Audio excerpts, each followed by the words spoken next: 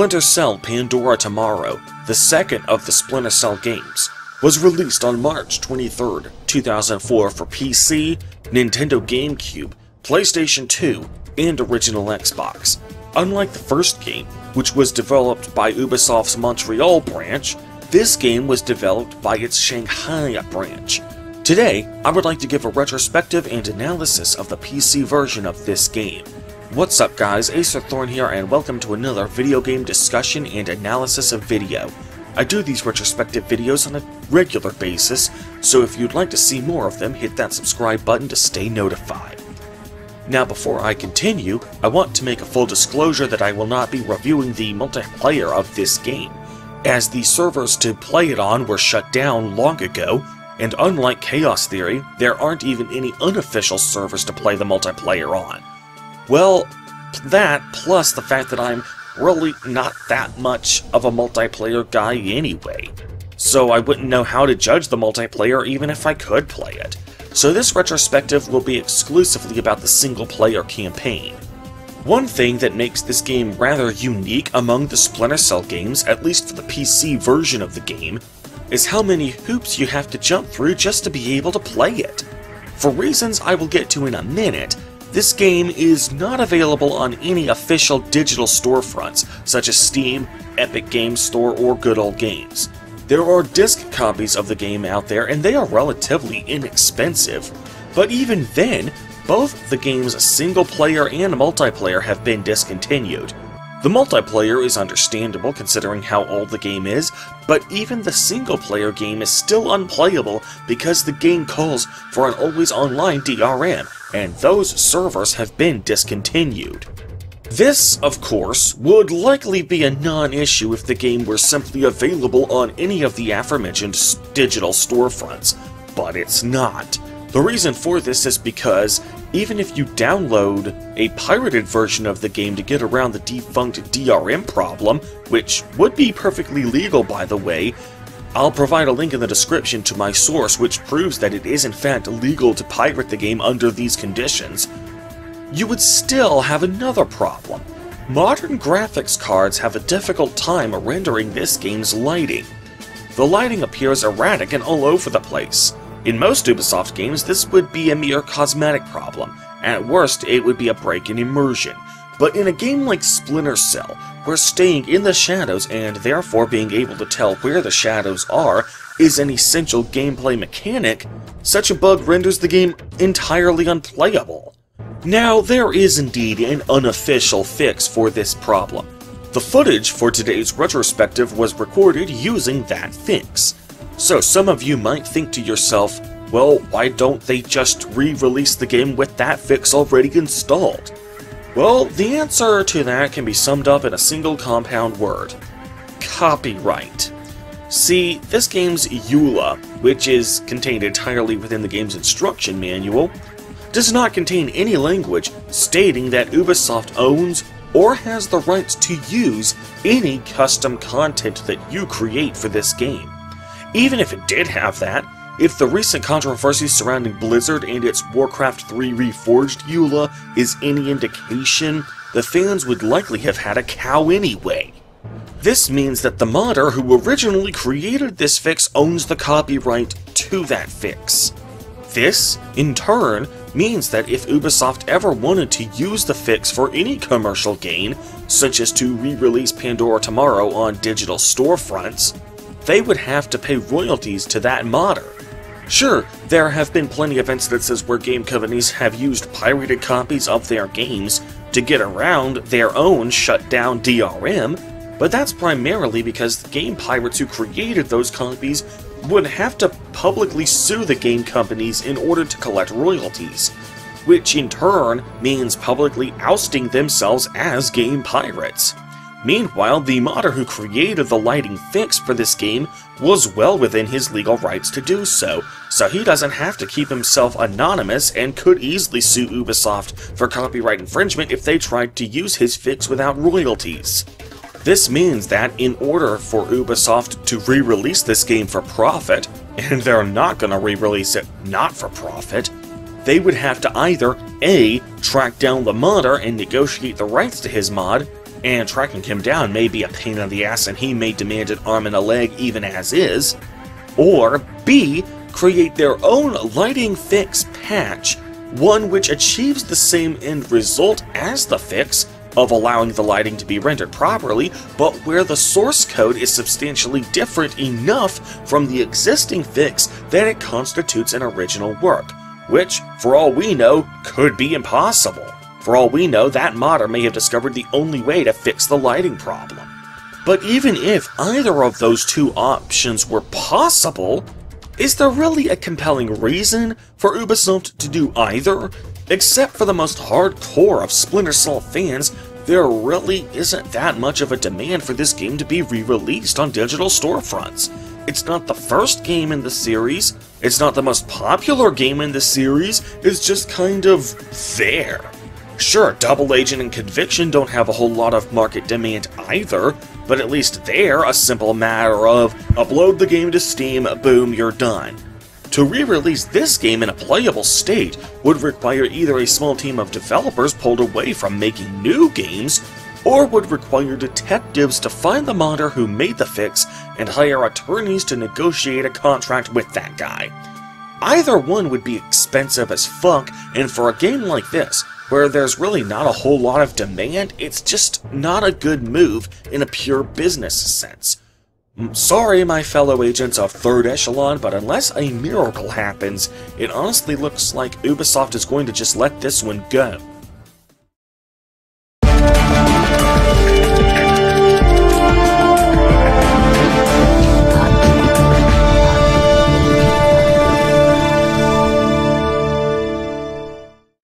So once you jump through all those hoops and finally manage to begin playing that damn game, how does the game itself fare? Well, one thing I noticed right off the bat is that the quick save and quick load keys could no longer be reassigned. For the quick save button, this wasn't a problem since I usually use the F5 key for my quick saves anyway. But for quick loading, I am used to using the F9 key, so having it permanently mapped to the F8 key and being unable to change that took some getting used to. In my retrospective of the first game, I mentioned how the shooting felt like my aiming was based on RNG even when I was standing completely still. Well, in this game, I don't simply feel that way about the shooting, I know it to be the case. This time around, it's explicit. There is indeed an RNG to your shooting, even when you're standing still. This is evidenced by the fact that you have an alternative aiming reticle with your pistol. Press Alt-Fire, right-click on the mouse by default if you're playing on PC, and the aiming reticle will switch to a laser pointer. However, the laser pointer still waves around, even when you're standing still. Honestly, although I still feel that this random targeting is bullshit, I have to admit that this is a minor improvement over the first game. At least this time around, the game is much more transparent about the randomness. I can't blame it on a lack of polish this time around, since the waving laser pointer demonstrates that it is indeed a conscious choice by the game designers, and at least this time around, the laser pointer aiming system means that hitting your targets requires good timing, so it is still skill-based rather than luck-based as it should be. Sam doesn't really have any new toys or gadgets at his disposal this time around, but the way they are implemented is much more straightforward and intuitive. Your non-weapon tools, such as your lockpick and your optic cable, are much more intuitive this time around. In the previous game, you had to equip the lockpick and optic cable to your weapon slot, and then use the primary fire button while next to a door in order to use them. Here, if you need to pick a lock, you simply go to open the door and the game opens the lockpicking minigame automatically. If you want to use your optic cable, it's still kind of awkward, but it's the sort of awkward that I'm used to, having played a buttload of Chaos Theory. You hold down the button to open the door, and with the button held down, use your WASD keys to select the optic cable from a menu. I remember as a kid finding this rather awkward, but if you've played Chaos Theory to hell and back, you should be used to this interface. While Sam doesn't have any new gadgets at his disposal, he does have a new ability, the ability to whistle, and oh my god, this power is OP. I had honestly forgotten just how OP this whistle ability was, as they do a much better job of balancing it in Chaos Theory and in later games. Here, the guard will always come to the exact spot you were when you whistled, linger for only a couple of seconds, and then turn around and go back to his normal routine. This means that all you have to do is stay in the dark, whistle to a guard, and then take a couple of steps back. He'll come to your position, but if you're in total darkness, he won't see you. Then he'll turn around, giving you a perfect opportunity to grab him from behind or knock him out, and it always works. Unless he has some backup or a hound to sniff you out, the game is basically whistle to win. It practically takes all the challenge out of the game in most areas. I found myself having to resist the temptation to use it because it felt like a cheat. You still never interrogate anyone for door codes in this game, which is a real bummer. At first I was going to give this game a pass, since at least this time around the game didn't actually teach you to interrogate people for door codes, only to then never have you actually use that ability. However, the game loses whatever pass it may have earned in this regard about halfway through the fifth mission in the game, when the game actually teases you with the opportunity to do this only for Lambert to shoot that idea down. Dono changes the passcode for entry twice daily. He doesn't write it down. He gives it verbally to his three top lieutenants on site. So I grab one and make him talk. No. We need to stay discreet. We can't afford to have Sadono panic and skip a call. Use the sticky cam to overhear those conversations. Details on your OPSAT. I have to wonder why the game even bothered to include that line. If I didn't know any better, I would think that the game developers knew the player would be expecting to be able to interrogate a guard for the door code, so they wanted to expressly disavow the player of that intention.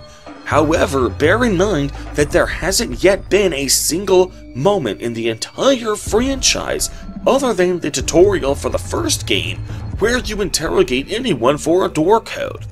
At this stage in the franchise, the player should not be in the groove of interrogating people for door codes, so why even include that line in the first place?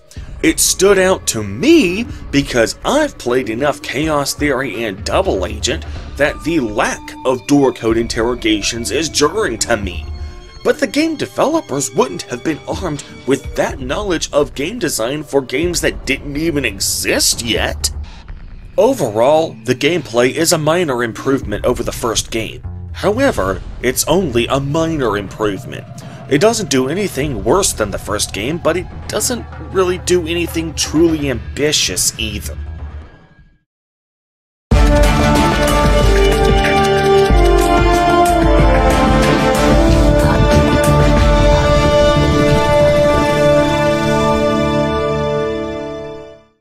I didn't cover graphics in the first retrospective because, quite frankly, there wasn't that much to say. They were part of the course for their console generation, so what else can I say about them?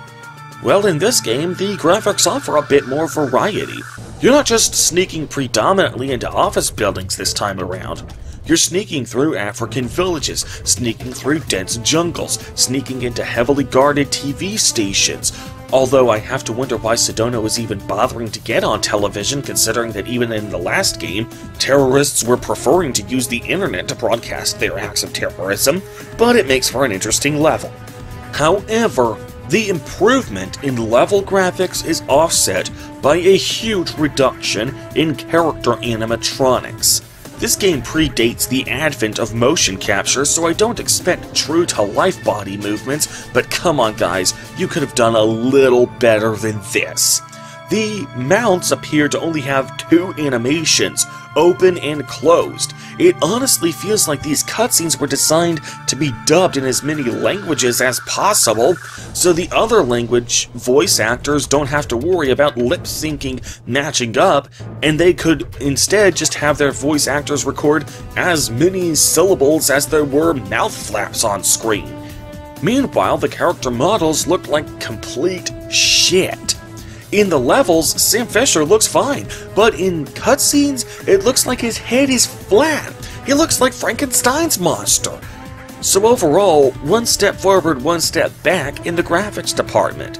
Improvements in some areas, downgrades in others. As for the sound, that's another area where I have to say one step forward, one step back. On the one hand, I like how this game upped the diversity of background music. In the first game, there were different tracks for each level, which was cool, however, there was only one track for each level. Whenever you had a shootout, it was always the same musical piece every time. But in Pandora Tomorrow, each level not only has its own background music, but also different music for when the guards sense your presence but don't know you're there, as well as when you're discovered and the guards are shooting at you. The problem with that, however, is that you'll almost never hear half of these discovered tracks in the actual game, because in about half the missions in the game, any alarm means an automatic game over, though I'll discuss that in more detail when I discuss the individual levels. And due to some pretty shoddy programming, NPCs will usually radio in for an alarm the nanosecond they actually detect you, before they even have enough time to say even a single syllable into their walkie-talkies. However, while this game improves slightly upon the first game in terms of soundtrack, it takes a serious nosedive in terms of voice acting. For starters, Don Jordan, the voice of Lambert in four of the five games he's appeared in, as well as Claudia Besso, the voice of Grimsdottir in every other game in the series, do not reprise their roles as Lambert and Grimsdottir in this game.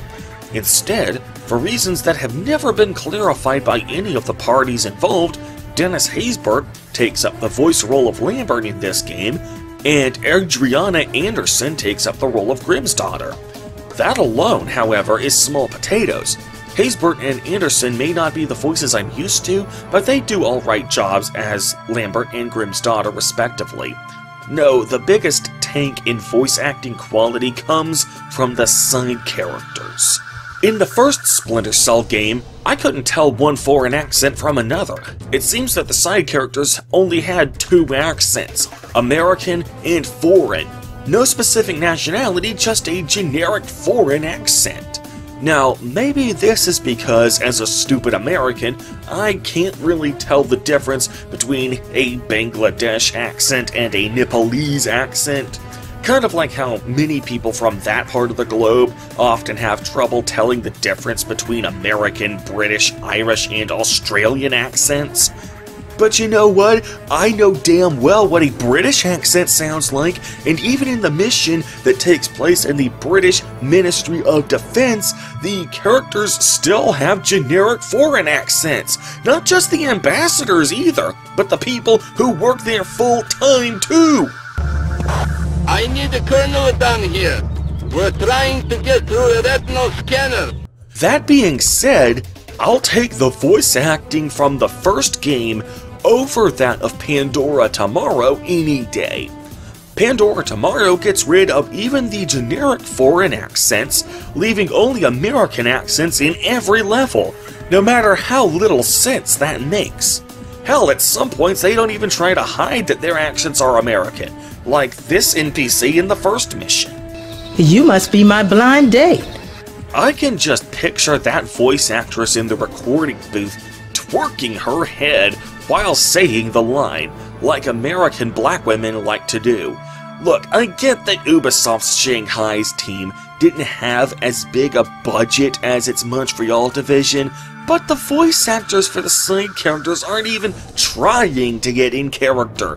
Did these people even fucking care about turning in a passable performance?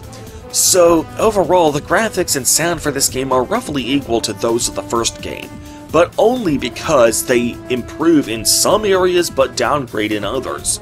The improvements more or less cancel out with the downgrades, so it keeps the same overall quality.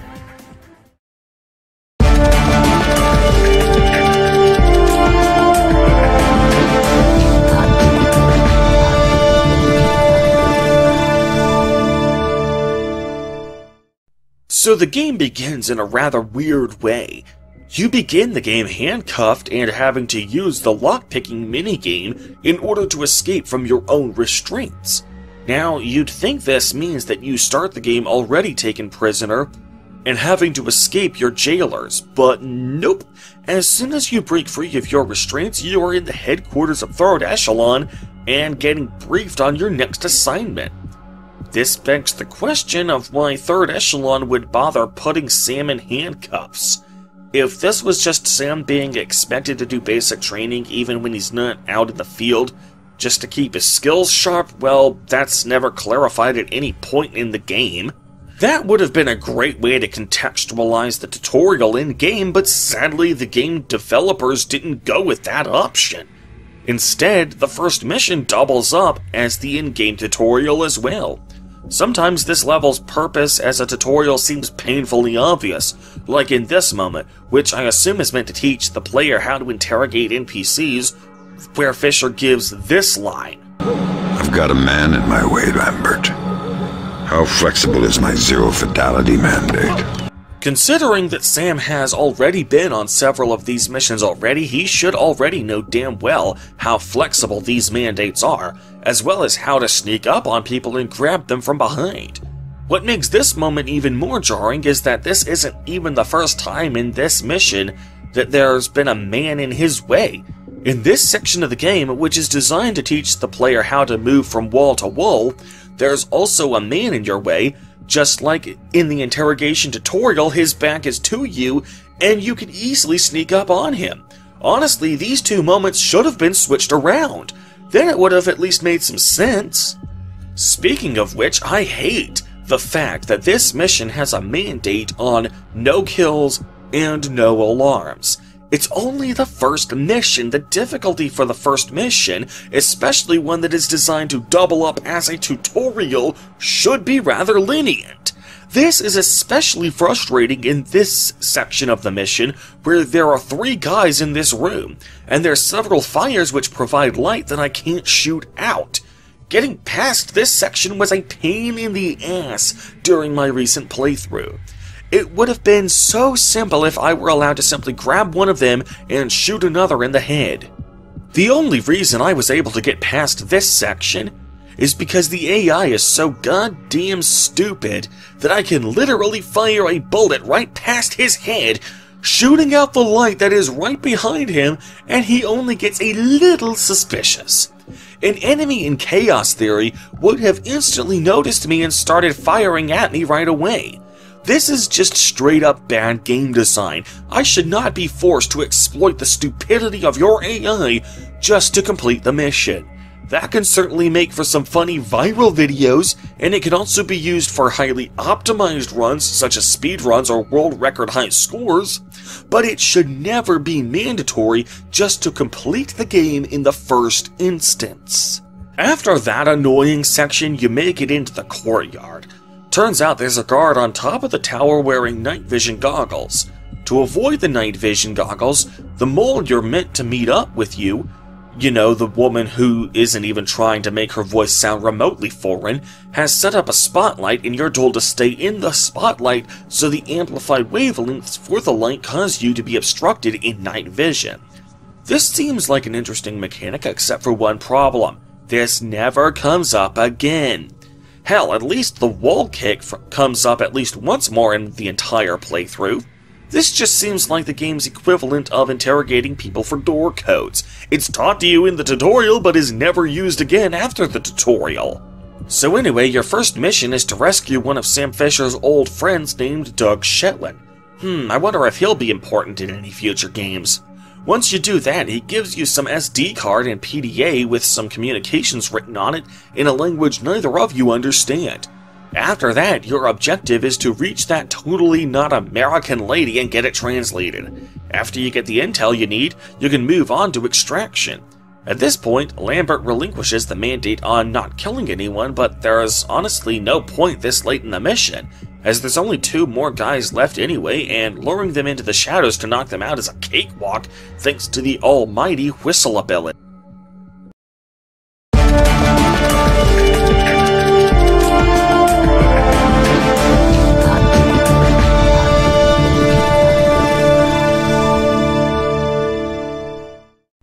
So this intel we gathered leads us to a cryogenics factory in Paris.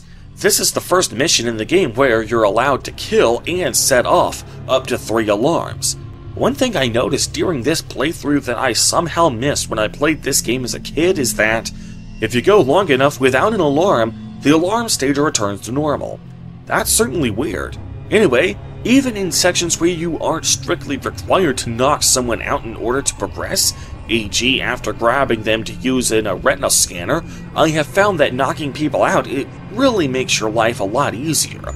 The game clearly seems balanced on the assumption that you're going to knock out guards, and it really becomes a pain in the ass if you try to move forward without knocking them out. You're practically guaranteed to get spotted if you leave anyone conscious to spot you.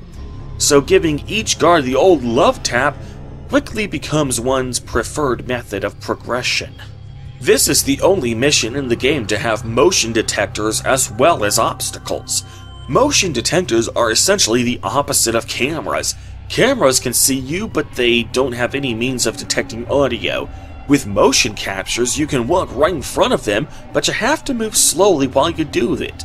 It's certainly an interesting obstacle, and I'm kind of disappointed that no other game in the series, or even any other mission in this game, uses them. Your first objective is to find out who the elusive mortified penguin is, and honestly, the way this game handles that objective is pretty dumb. Basically, there's one computer in the entire complex which gives Fisher the necessary information, and the only way to find the intel you need is to check every computer using trial and error. This is just tedious. Once you've got the access codes you need to progress, you suddenly have to defuse a bomb. This honestly just feels like padding. You could easily have just moved on to the next section of the mission and nothing would have felt out of place. Defusing the bomb isn't even that difficult. There's no bomb defusing minigame. You literally just walk up to the bomb and press a button. Honestly, not only is this side mission a complete waste of time, but it completely breaks the immersion that the mercs don't get suspicious about why their bomb didn't go off, or why they don't just plant another one. Once that nuisance is out of the way, our next objective is to sneak into a cryogenics factory where people's brains were frozen so they could be reawoken in the future. Now, this I have a problem with. The first Splinter Cell game was developed around existing technology. They didn't want to give Sam any gadgets that couldn't be replicated in real life. The only gadget he received that wasn't available at the time was his tri-lens goggles, Combining night vision and thermal vision into one set of goggles wasn't possible at the time, but they decided to go with it anyway for two reasons. One, it gave Sam Fisher and the Splinter Cell franchise an iconic trademark logo, and two, it would have been a clunky game mechanic to have Sam remove one pair of goggles and put on another, especially in situations where he has to do it one handed or no handed. This cryogenics factory breaks immersion for me because it isn't based on existing technology. You cannot freeze someone's brains and then thaw them out later, put them in a new body, and have that person be alive, let alone have all the memories of his past life. This is just straight sci fi, which undermines one of the core design mandates behind the Splinter Cell franchise. We get a decent platforming section in the second room, where we have to hang on to the ledge while timing our movements so the liquid nitrogen doesn't hit us. I have to marvel, though, that the NPCs in this game are not programmed with the simple ability to, you know, look down. Like I said earlier, the exploitation of stupid enemy AI should not be required simply to complete the game. We then finally reach our objective. Somebody has locked himself in a cell to so some terrorists can't get to him. We find him through the air duct. Hey, a non-obvious route to our destination instead of just going through the door for a change. And after a brief conversation, we have to make like a banana and get out of there before the terrorists use explosives to blow the door open. We basically leave this innocent guy to die, something that Lambert actually admonishes us for. Frankly, I wish the game would have given us a way to save him because I agree that we shouldn't have done that.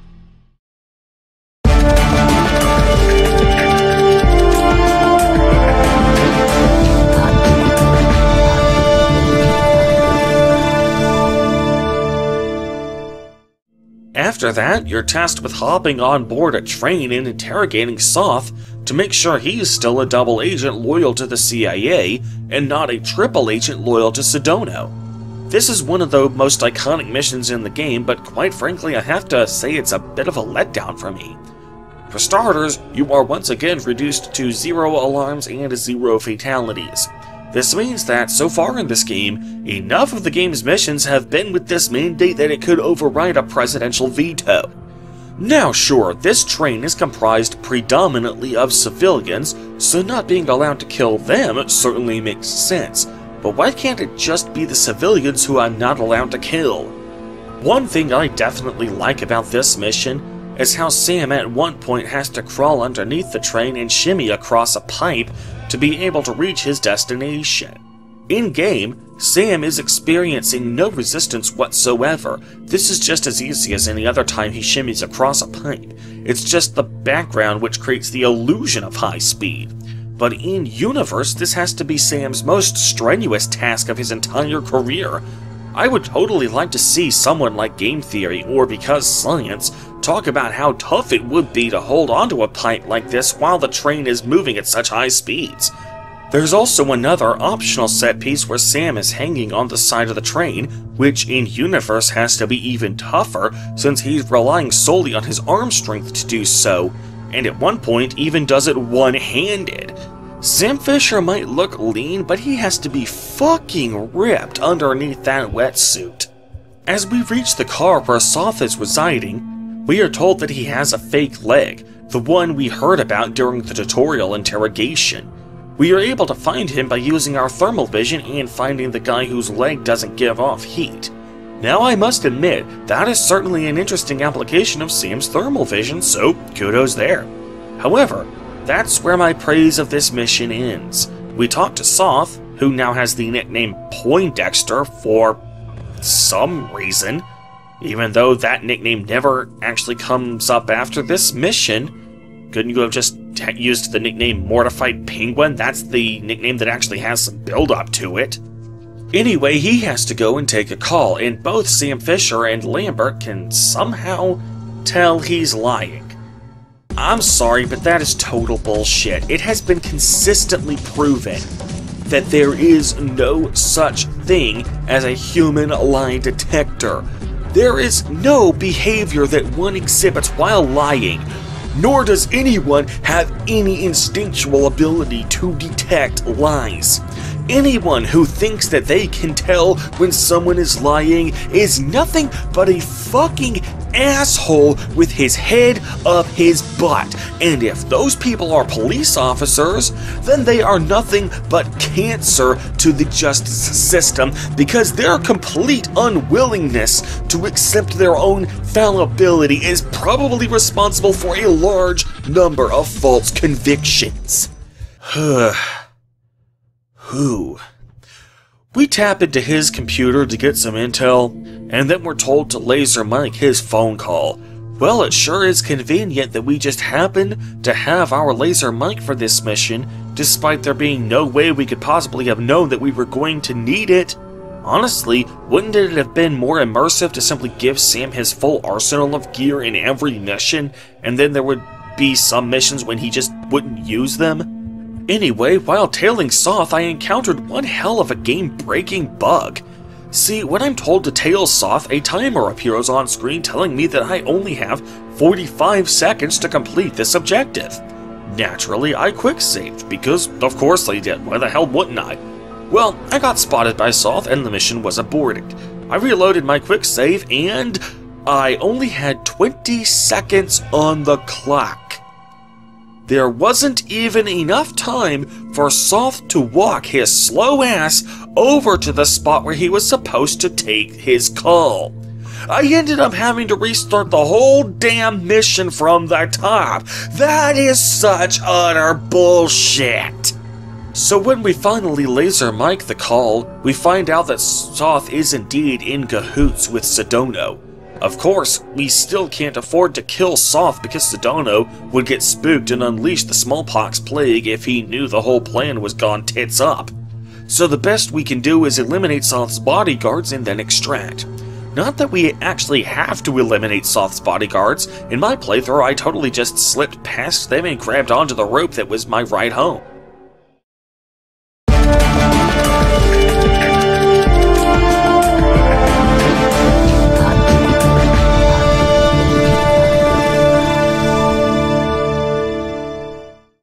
Next, we're off to Jerusalem to recover a sample of the smallpox virus so a vaccine can be developed. Believe it or not, we once again have a zero kills and zero alarms mandate. I mean, Jesus fucking Christ, I'll take these mandates over the scripted shootouts of the first game, since these mandates still force us to, into stealthy playstyles, which is what Splinter Cell is supposed to be about. But the game developers really needed to understand how to design games so that the difficulty raises gradually over the course of the game. Not to mention that the no alarm mandate means that half the game's soundtrack is wasted because by the time we're discovered, we've already gotten an automatic game over, so there's no opportunity for the discovered music to actually play. Our first order of business is to recover our SC-20K assault rifle. This section of the mission honestly just feels like padding. As Sam himself asks at the beginning of the mission, wouldn't it make more sense just for him to have it at the beginning? We're told that it's because it's being outfitted for, with some upgrades as an excuse why we don't have it at the start. However, A, why couldn't those upgrades have just been given to me stateside? And B, I honestly can't tell any difference in how the SC-20K actually feels or fires any damn way, so this upgrade was a complete waste of time anyway. Frankly, it just seems like an excuse to have me go through the first leg of the mission without any means of shooting non-lethal projectiles, since I'm not allowed to kill. So I make my way through a platforming sequence, making sure to stay out of sight, since, you know, one alarm means a game over. Again and I find that the guy who's upgrading my gun is currently being mugged by two thugs. I grab one of them from behind and the other guy grabs my contact and we have a Mexican standoff. Fortunately, I'm able to use my laser pointer to ensure I'm aiming past my ally's head while hitting the enemy in his head, so wait a minute, I just killed this guy. And I didn't get a game over. So, I really am allowed to kill in this mission? Well then, why the fuck did Lambert tell me that I can't kill anybody? Why do you gotta fucking lie? So we get our SC-20K and then meet up with the person who should have been our objective from the start. A woman named Darla, who is able to get us inside the secret passageway that leads to Sadono's lab where they're growing multiple smallpox. After I rendezvous with this chick, she heads over to the location in question, and I'm required to stay behind and tail her without being seen. I must admit that this is a very satisfying section of the mission, all due to one simple reason. The focus is on stealth, which is what the focus should be on in a Splinter Cell game. It's admittedly a slow crawl, as Darla is often stopped by several cops for violating curfew, and has to come up with some random excuse for why she's out on the streets, though why she can't simply reuse the same excuse over and over again is beyond me. However, the second half of this sequence is rather baffling. It's one thing for the guards to not be allowed to see me, but at the halfway point, she says that I'll get a game over if she sees me. Why? She knows I'm with her. This makes absolutely no sense. So after we enter the elevator, Lambert tells us to murder Darla. Fisher, we need Dahlia Tal dead. Kill her. Don't think, just do it. This is the big morally ambiguous decision of the game. You only get a very limited window of opportunity to comply with this order, and Lambert doesn't tell you why you should follow it. When I played this game for the first time as a kid, I didn't comply, the order to kill an unarmed woman for no reason other than the voice in my head told me to just came so far out of nowhere that I didn't have time to adjust. Fisher also felt that way, saying he needed some more warning before killing an innocent woman. However, after I recovered the smallpox sample, I found myself in a scripted shootout, and by now you guys should know how I feel about those damn things. Turns out Darla was a double agent that just wanted to take the paycheck being offered by the NSA while still helping America's enemies. If you kill Darla, you don't have to do the shootout. However, by the time you are told that she's a double agent, it's already too late to change your mind. Now, Fisher will lament that he wasn't given proper notice about killing her and didn't have time to mentally prepare himself for it. However, you can rationalize this transgression from Lambert by assuming that he only just now received the intel for, that Darla was a double agent, e.g., from another Splinter Cell. After all, Lambert was in a bit of a panic when he gave that order to Fisher. Fisher, we need Dahlia Tal dead. Kill her. Don't think, just do it. So one can easily assume that he was scrambling to get the word out uh, before it was too late. I freaking love this moment. It is deliciously morally ambiguous, not to mention it shows us what kind of moral fiber Fisher is made of. Fisher is often tasked with doing morally repugnant actions as part of his job, all in the name of the quote unquote greater good of keeping America safe. This moment shows us that Sam still has a conscience and takes no joy in killing the innocent. Even if you choose to kill Darla, it may show that Sam takes orders blindly, but he won't like it one bit once he's had more than a split second to actually think about what he just did. Of course, there is one caveat to killing Darla. See, just before you retrieve the smallpox sample, there's a nearby weapon dump providing you with tons of ammo and non-lethal weapons. If you don't kill Darla, this weapons cache will prove invaluable to surviving the ensuing shootout. However, if you do kill Darla, then the weapons cache is still there. You can be packing all this heat and have nobody to use it on.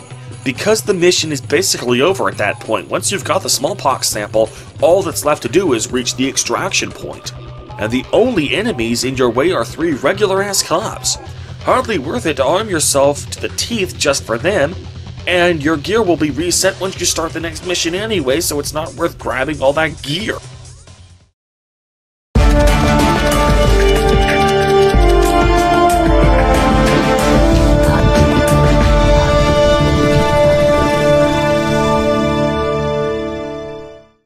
So our next mission takes us to Sadono's base of operations in the city of Kundang, Indonesia. For some reason known only to the geniuses at Ubisoft Shanghai, this mission isn't based off any real-life city or location. There is no such place as Kundang. It is an entirely fictional location made up solely for this game. Why? Every other mission in the game is named after a real-life location. Why make up a location just for this one mission? Would it have been so damn hard for you to simply place a map of Indonesia on the wall and then throw a dart at it, and wherever it landed, that's where the fifth mission would be located? Also, no kills and no alarms allowed. Honestly, at this point, I'm not that pissed off at it anymore. Mostly because I'm used to it by now, but also because we're entering the second half of the game. So by this point, such a progression in difficulty is warranted. Anyway, this is the second of two missions in the game to feature Douglas Shetland. He says he'll have snipers in position to provide you with a diversion in case shit goes south. However, his involvement in this mission is rather baffling. As I mentioned in my Splinter Cell 1 retrospective, Third Echelon's mere existence completely shits all over the US Constitution, and would mean the almost instantaneous end of the president's reputation if its existence were ever made public. Well, we're learning chaos theory that Shetland is actually running a private, for profit security agency, meaning that his employees in this mission are private citizens. However, in order for them to do their jobs in this mission, they would obviously have to know that Sam Fisher is a Splinter Cell which in turn means that they know that splinter cells are a thing. So by all logical accounts, the lid should have been blown off of Third Echelon's existence simply by getting a non-governmental agency involved in any way. Do you guys see why I tend not to focus too heavily on the stories behind these games? So this mission takes place in a jungle which provides a nice visual change of pace.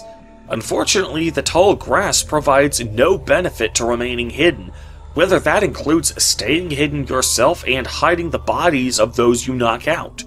The only thing which affects whether a body is hidden is the amount of light shining on it, and the only thing which affects Sam's ability to remain undetected is his light levels and the enemy's line of sight. What a complete waste of what could have been an interesting game mechanic. Oh, and if that wasn't enough for you, the first section of this mission decided to just spam these tripwires all over the place. Walk through these tripwires and they blow up, causing instant death. This is one instance where the tall grass really does obscure your vision, because if you thought this game was going to play fair, then I pity you. You should have realized this game wasn't going to play fair when enemies can set off alarms even if you kill them before they even had time to radio in for an alarm. So you have to use your heat vision to see where the wires are, and let me tell you, considering that this game doesn't even have native HD support, bear in mind that this was originally made for the original Xbox and PS2, you'd think that the wires would be relatively easy to spot once you turn on your heat vision, but nope. Oh Christ, nope. Then again, it could just be the widescreen fix I'm playing the game with, but I'm not optimistic. So you make it to the second third of the mission and the game really starts to lag to hell and back at this point. If you enjoy 20 frames per second in your games, this mission will make you come. There is no excuse for the game running this poorly. This game was released in 2004.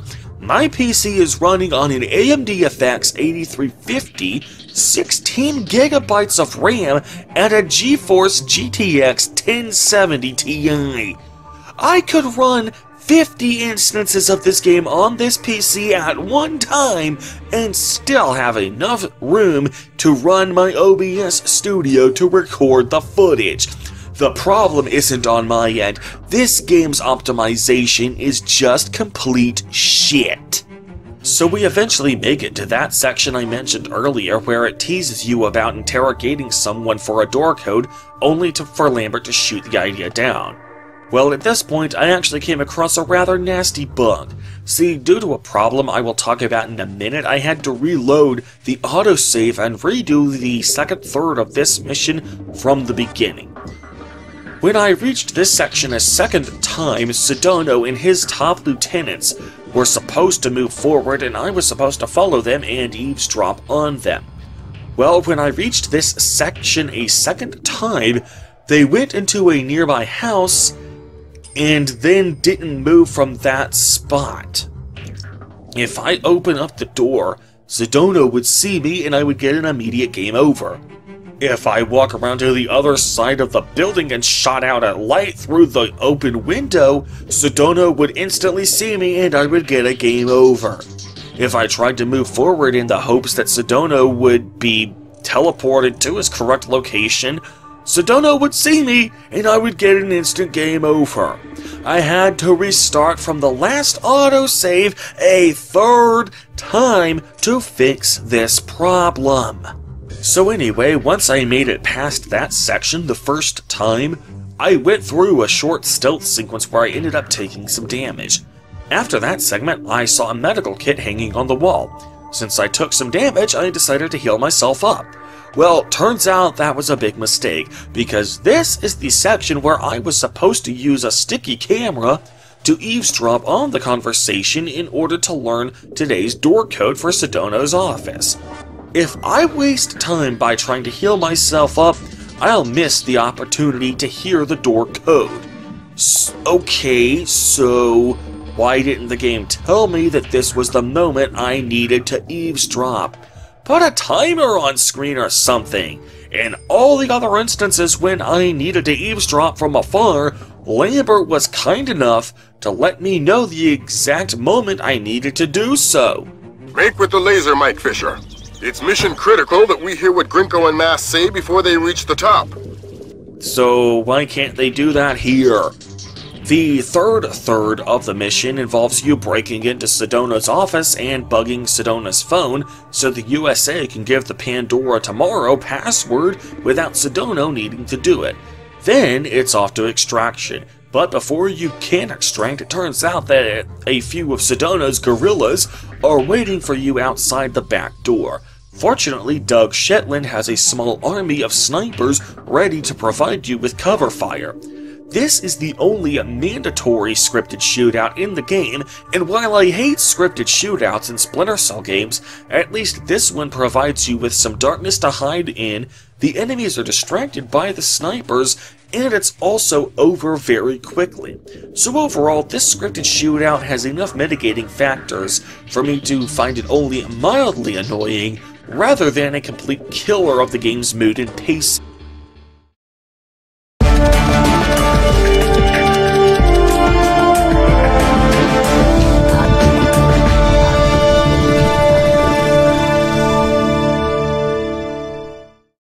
So now that the USA has the means to stave off the smallpox outbreak indefinitely, you're headed to the island of Komodo in order to infiltrate a submarine in order to... Wait, why am I doing this? Nope, no reason given. Honestly, I kinda prefer it this way. I'd much rather have the game have no story at all than a story that makes no sense. The whole appeal of Splinter Cell is to sneak around in the shadows like a badass and use platforming to perform awesome feats of athletics. Much like a Mario platformer, you honestly don't need a story to motivate the action. The act of going through the levels is satisfying in and of itself. Not only that, but having a mission that doesn't have a story attached to it shows that this franchise could totally do with a level editor. Much like Super Mario Maker, a level editor in Splinter Cell could allow the fans of this franchise to create new content and new missions for the series indefinitely. En route to my destination, I did notice that there was this candle that provided some light. Now, in Chaos Theory, I could just blow this light out to create darkness, but apparently that wasn't thought of in this game. It's not a big deal, it's just something I noticed. But you know what is a big deal? This turret is just cheap. I can't get into this yard except by going through this door, but doing so necessarily puts me in the turret's way. I swear the only way to get past this section is to take a few shots before you can get around it and hope you come across a health pack soon. Once you get past the turrets, there's some cheap lasers in place that trigger an automatic alarm if you pass through them. It took some trial and error before I realized that I needed my thermal vision to get past this section. Once I realized that, it was easy to get past, but it was annoying. So it turns out that this is actually an Indonesia naval base. It only looks like our bamboo hut village on the outside, so it looks unassuming. Frankly, I'd say go ahead and beef up the defenses to the point where nobody in their right mind would dare try to storm it without backing of an entire army. That's what America does, but whatever, you do you. Once inside the underground bunker, our first order of business is to enter the control room and convince the guy to raise the submarine for us so we can get inside. There's actually an interesting sequence here where the guards in the submarine base radio in for an explanation. To avoid a scripted shootout, you have to refrain from knocking out this NPC for a little while, while you force him to respond to the call promising to lower the sub again in a few hours.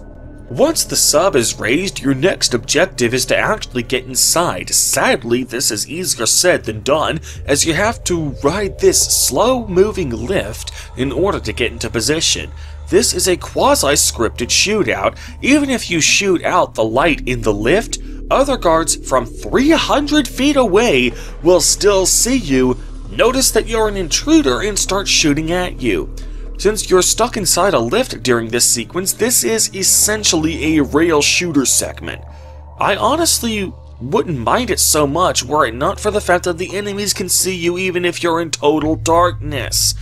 However, the reason I call this a quasi-scripted shootout instead of a full scripted shootout is because you do have the option of taking all the enemies out before you activate the lift, using your SC-20K and its 6x zoom sniper ability. Since these guys are spaced so far apart from each other, you can pick them off one by one without worrying about the others hearing your gunshots. So I'll say that this just barely constitutes an avoidable scripted shootout, even though avoiding it requires you know it's coming and doing something you likely wouldn't do otherwise. So now you're inside the submarine, and honestly, this has to be the tightest quarters in the entire game. The train mission ain't got nothing on how tight these quarters are. What's even worse is that you can't kill anybody in the submarine, otherwise, it would be seen as an act of war by the Indonesian government, which is precisely what we're trying to avoid. Wonderful. Fortunately, you are allowed to knock them out, which leads me to my next gripe. In this section, I saw a guard coming my way, so I hid in the shadows, waited for him to pass me, knocked him out, and got a game over. See, as it turns out, there was a retinal scanner that I needed him to unlock, which means I needed him conscious to do it. Well then, if Lambert knew this guy was so important to the point where he knew to instantly abort the mission because it was somehow now impossible to complete, why didn't he warn me that I needed this guy conscious? He didn't seem to mind giving me the heads up in the first game.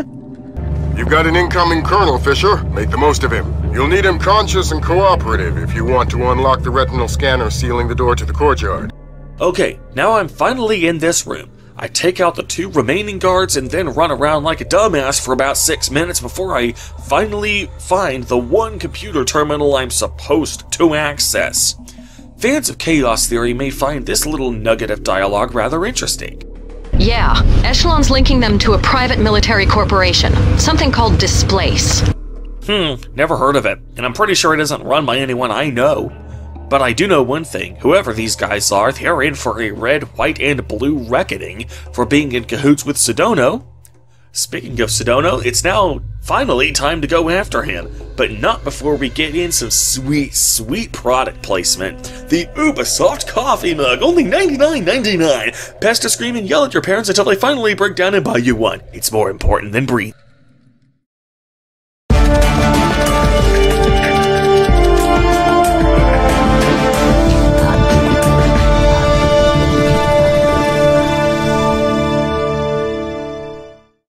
Well, it's just our luck that Sadono happens to be hijacking a local TV news station so he can broadcast his message. Anyway, I begin this mission outside with it raining cats and dogs. You would think that all the rain and thunder would allow you to be a bit louder without giving away your position, but apparently I'm too used to Chaos Theory where that is indeed a main gameplay mechanic. In this mission, you are allowed to use lethal force, even though such a ban would be totally excusable for the penultimate mission, but whatever. Except that there are some people who you can't kill. Are they civilians? If so, A, why haven't they been evacuated while Sadono is hijacking the TV station? Or does the Indonesian government actually condone Sadono's actions? And B, why can't the game make it more clear who is a civilian and who is a terrorist? Am I supposed to look for whoever has guns? Because this game's 2004 graphics, especially when I'm in night vision and the graphics are monochrome, do not lend themselves to noticing tiny details like that. As I tried to find a way into the TV station, I overheard a conversation from a pair of guards mentioning how they weren't wearing their typical night vision goggles. Frankly, I wonder why the player needed to overhear this. With the exception of that one guard in the first mission, no guard in this game has been wearing night vision goggles. So it's not like this has a change of pace for me. I did hear a line about how the night vision goggles aren't safe to wear with all the lightning happening, so maybe this was designed to warn me that if I'm wearing my night vision goggles whenever lightning happens at timed intervals, that will act as a conductor, luring the lightning to my location and causing heavy damage if not killing me instantly. However, I never once actually got harmed by lightning despite lightning going off multiple times during my playthrough. Frankly, this entire conversation just seemed pointless to me. If it was meant to be mere flavor text, well, it doesn't actually tell me anything about the bad guys. It doesn't give them any kind of depth, and it doesn't make them out to be anything more than gorillas who are detached from reality, so it fails on nearly every count. Oh, and do you guys remember the cheap ass set piece from the first game that had panning spotlights combined with landmines dotting the ground? Well, it turns out that the developers liked that set piece so much they did it again. In fact, they even upped the ante by having a sniper near the spotlight.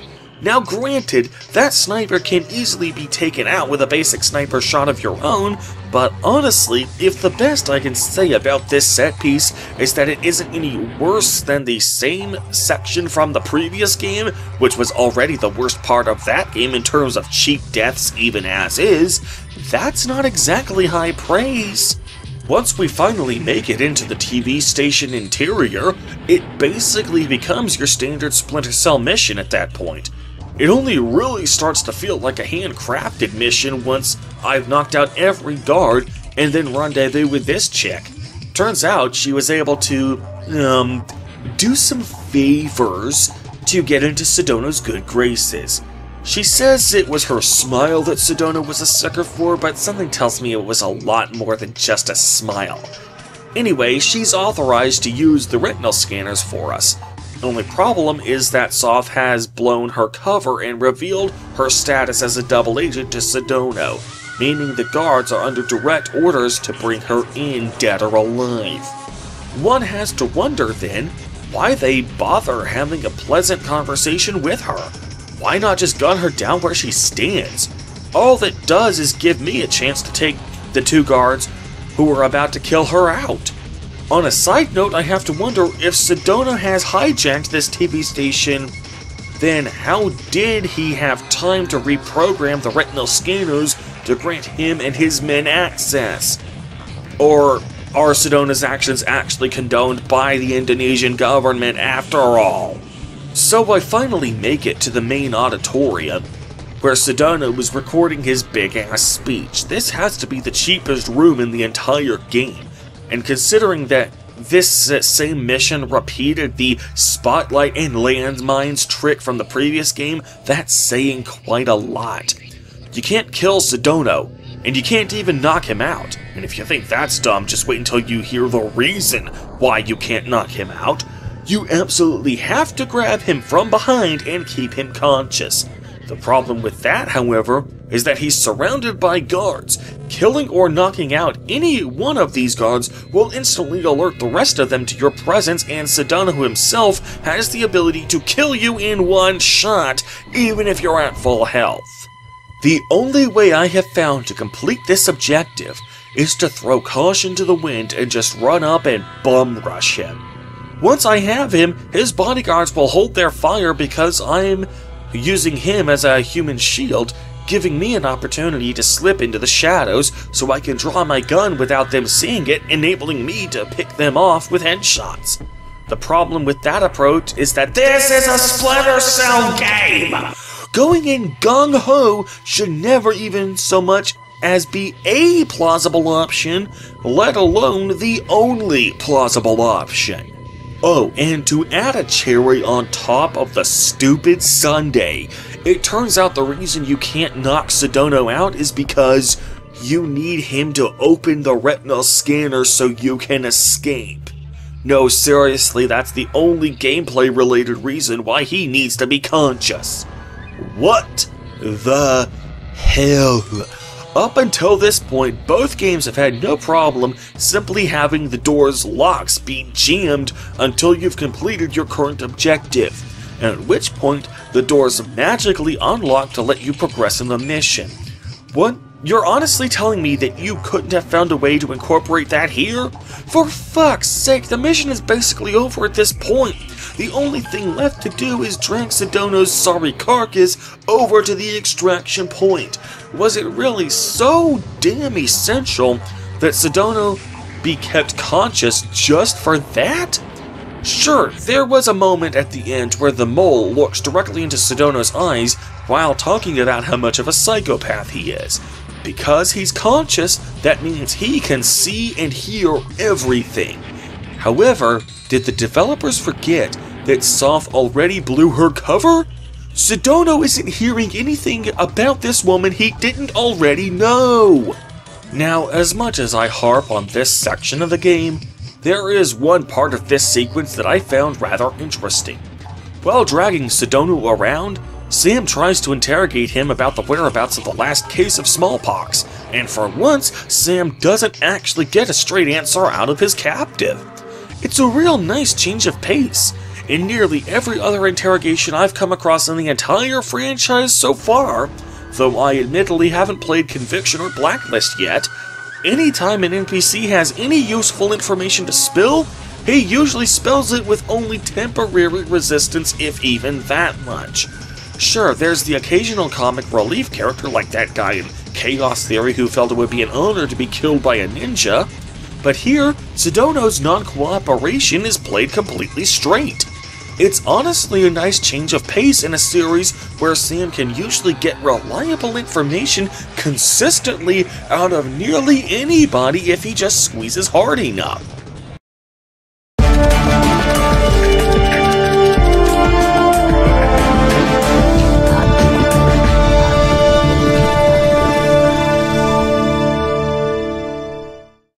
So after we bring Sadono in for more potent enhanced interrogation techniques than what Sam was able to deploy on his own, we learn that Soth is planning on unleashing the smallpox virus on the Los Angeles International Airport.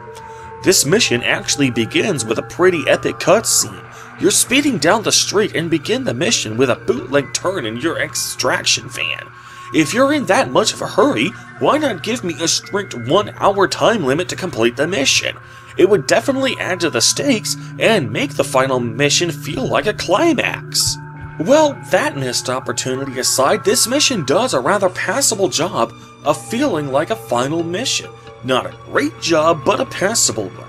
You can't set off any alarms, otherwise Soth will unleash the smallpox immediately, why he doesn't just release it immediately anyway is beyond me, but if you're asking for this game's plot to make sense, you're asking way too much.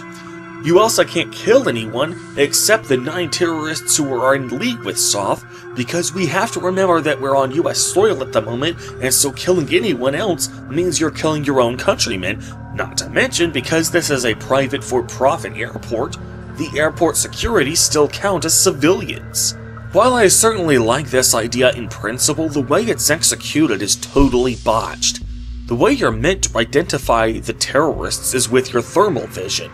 Grimsdottir reasons that the terrorists must have gotten smallpox vaccinations to protect themselves against the ensuing smallpox outbreak, so they intentionally gave themselves fevers as their bodies worked to fight off the weakened versions of the smallpox virus. Because, you know, that's how vaccines work. Because of this, the terrorists will appear as almost pure orange in your thermal vision, whereas regular airport staff will appear as the standard green and yellow. The problem with this line of thinking is that earlier in the game, the citizens of the USA had undergone mandatory smallpox vaccines themselves, so the airport should already be brimming with people running fevers as their bodies fight off the vaccines. Ugh, this pl- game's plot is dumb. One moment in this mission that I found rather interesting was in the luggage area of the airport. I wondered if the game would let me take a, the non obvious route through the luggage conveyor belt. Sure, there are x rays in those machines in real life, but that doesn't necessarily mean the game will think to program it in. To my pleasant surprise, the game developers did indeed account for that. Stepping inside the X-ray machine automatically results in a mission failure as that means the airport security will have noticed me as they were keeping an eye out for bombs and the like. Then again, if the game developers really have thought about that, then I have to wonder how they expected Soth to get his smallpox bomb through the airport security in the first place. Bear in mind that not only was this game developed in the years of 2002 to 2004, but it was set in the year 2006. Post 9 11 paranoia and airport security would have been at an all time high, and the odds of Soth being able to just slip a literal bomb past the airport security in a post 9 11 world is ridiculous. Then again, this game was made in China, so maybe they didn't quite understand the post 9 11 sentiment. So you eventually make it to the final segment of this mission, a dark area that apparently serves as the source of the ventilation for the airport. Apparently their intention is to use the ventilation system to spread the smallpox virus, which begs the question of why they set it up as a bomb if they were just going to pump it through the air conditioner. When you finally kill all the remaining guards and make it to the bomb, you find that there isn't enough time to properly defuse it. Sam thinks on his toes and sneaks into a broom closet, dresses up as a janitor, and casually takes the bomb out in the open as casually as if it were a briefcase, and then leaves it unattended. Airport security recognize it as a bomb and then call in the bomb squad to contain the explosion. I hate to say it, no I don't, but this is stupid. Sam only had 11 minutes to work with. In the cutscene, it is shown that there are about six and a half minutes left on the bomb's timer when the airport security recognizes it as a bomb. How quickly can Sam possibly move to find a broom closet that just happens to have a janitor uniform that fits him perfectly? Even then, six and a half minutes is not enough time for the bomb squad to make it there to cover up the bomb. I mean, in real life, I suppose it would be, since in a post 9 11 world, the bomb squad would probably just be on site in the airports, anyways. But as we've established, the Chinese game developers didn't account for post 9 11 security when designing this mission. Not to mention, we clearly see the bomb squad truck actually pull up to respond to this call, meaning they had to actually depart from somewhere. So after the day is saved, Sam just meets up with his extraction partner and nothing happens. No, seriously, just cut to the end credits. It's a- no actual resolution to the plot, no falling action, just the bomb explodes underneath the shell, boom, we're done. This has to be the most anticlimactic ending in the entire series.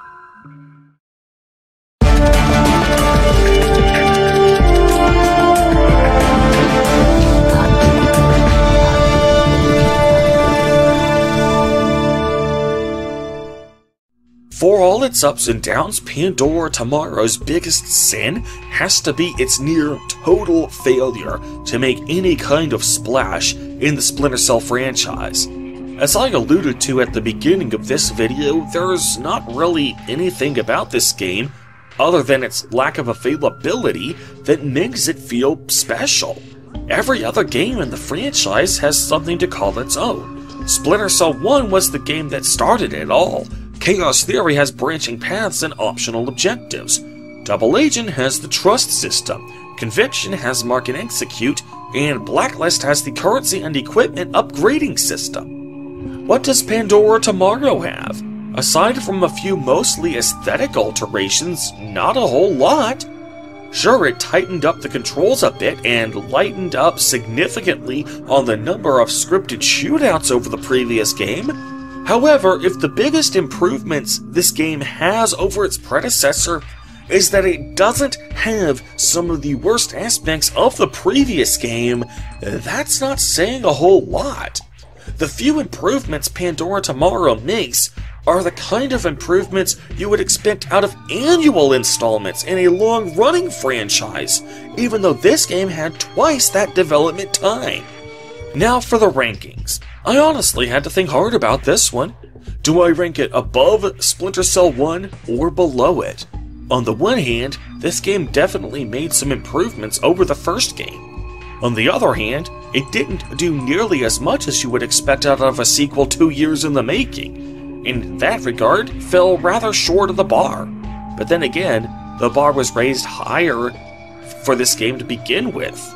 So after thinking about it long and hard, I decided to place it above Splinter Cell 1. It may have only done the absolute bare minimum to be considered a sequel, but I can't think of anything in this game that is definitively worse than Splinter Cell 1 and it did make a few improvements, even if they were de minimis improvements. So, next time I'll do a retrospective on the third game in the series, Splinter Cell Chaos Theory. What score will it get? Y- you know what? There's no point in delaying this suspense. Chaos Theory will get the top spot. I mean, I might as well just go ahead and rank it right now. It's above both Splinter Cell 1 and Pandora Tomorrow, and if it ends up not getting the top spot overall, I'll be really surprised. Well, ladies and gentlemen, if you enjoyed this retrospective, please hit that subscribe button for more videos just like it. Also, if you enjoy my content overall, please consider supporting the channel directly, either with Patreon support or channel memberships. Silver and gold level members and Patreon supporters are allowed to submit requests for video topics, and gold members and Patreon supporters are allowed to directly assign me video topics that I am guaranteed to cover. In the meantime, however, I am Acerthorn, and I will see you guys later. Peace!